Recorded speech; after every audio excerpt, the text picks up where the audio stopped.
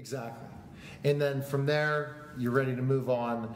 And that, that it's just amazing. Do, who, when you talk to your fans, tell me some of their other favorite places they've told you about. Well, actually, we had a bunch of people send in uh, favorite places from all over the world, uh, and they brought they sent some pictures in for a video we did last two years ago for Okay. Earth Day, Okay. and uh, we got some beautiful pictures from all over the world, from the Philippines to Oh, wow. Europe to uh, you know parts of the Midwest here in the United States, and and Interesting.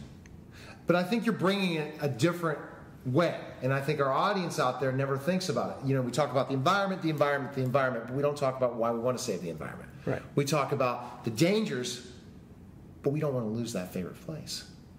And that's through your music. And then through your songwriting, are there other messages you try to bring? That's one of them, the favorite place. Would you say any other things that so people can picture this and say, I need to get involved as a call to action in certain ways?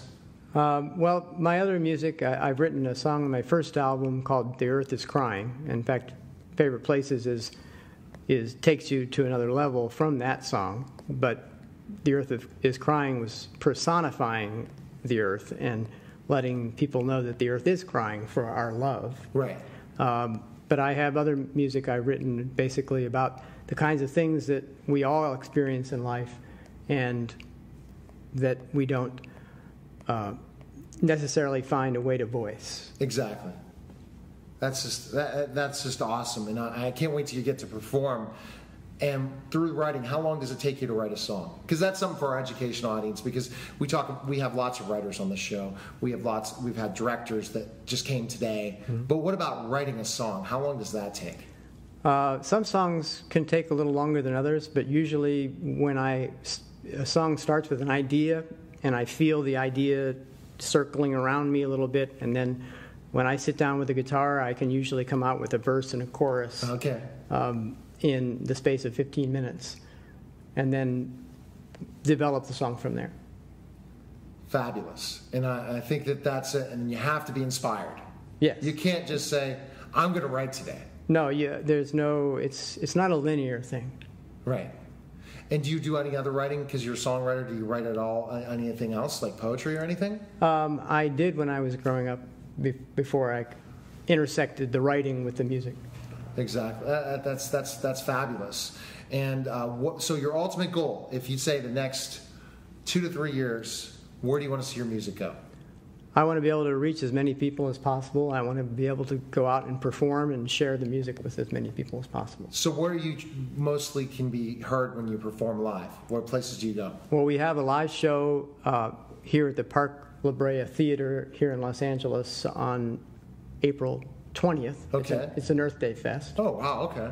and that we're that's going to be quite a big show for us. And then we're going to be performing around Hollywood uh, the following month, and then possibly in Northern California the month after that. Do you want to travel more than just California with this message? Oh yes, uh, the, we're already touching people all over the world with it. I, I think so, and that's for places where they can find information to go and be involved. And this is go to your website. Our the website, which is tjdoylemusic.com. Okay. Um, also, the YouTube channel, which is youtube.com forward slash tjdoylemusic. Okay. And if they want to stay in touch with us, they can go to the Twitter account, with which is uh, hashtag tjdoylemusic. And I think that I, I'm, I know you're excited to perform, and I'm excited to hear uh, what your your songs. And I think that our audience out there needs to go and check it out because I think that again, you're bringing the whole Earth Day message. I could see you traveling all over the world doing this, starting here and going from there. How long have you been doing this, where you're you're going and performing and things like that with this message? Uh, for the last um, five years. Five years. Yeah. But now you have this goal that I want to go global. Yes. That's what it sounds like. Yes. And you're very concerned because of the lack of, I guess, awareness out there too that say, I got to do this now. I can't wait. Well, I'm more concerned for the people that that are missing this in their lives because it can bring a great deal of peace and harmony to them. Okay. Well, TJ, we're gonna. We're, I'm looking forward. We're gonna stop right here for a second, and then we're gonna get to hear TJ perform.